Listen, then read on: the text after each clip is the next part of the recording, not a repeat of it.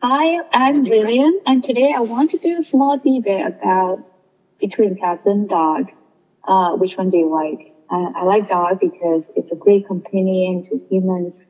It's uh, cute, it's loyal, and you can play outside with the dog. Um, how about you, Ola?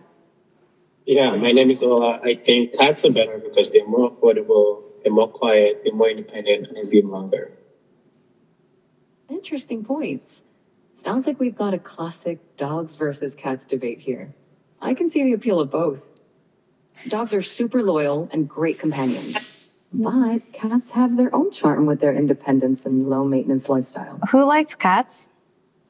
It sounds like Ola is more of a cat person. And who likes dogs? of you?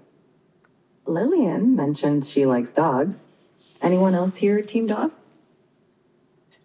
I'm also a team dog. I uh, my name is Christine, and uh, I think dogs are just incredible with kids. Uh, we've got a, a huge German Shepherd, and he's great with little toddlers. He lets them play all over them, and uh, yeah, I think dogs are amazing. That's great to hear, Christine. Dogs, especially breeds like German Shepherds, can be so gentle and protective with kids. It must be quite the sight seeing your little ones play with such a big dog. Can you summarize this meeting for us?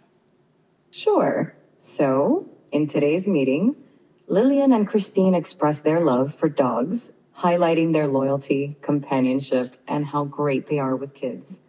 On the other hand, Ola prefers cats for their independence, quietness, and longevity. It was a fun little debate on the classic dogs versus cats topic.